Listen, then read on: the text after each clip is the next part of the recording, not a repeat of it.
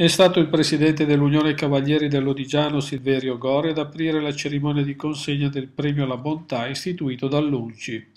Nella chiesa di San Francesco a Lodi si è fatto spazio inizialmente al concerto di Natale proposto dalla Corale San Giorgio di Montanaso Lombardo diretta da Paolo Villa.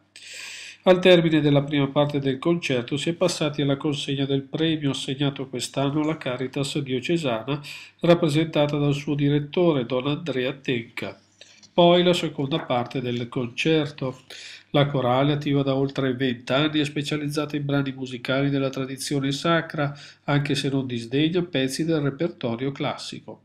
Al pubblico lodigiano ha proposto brani di Mendelssohn, Handel, Schubert, Mauri e Brahms, chiudendo la sua esibizione con la Notte Santa di Gozzano Ravelli.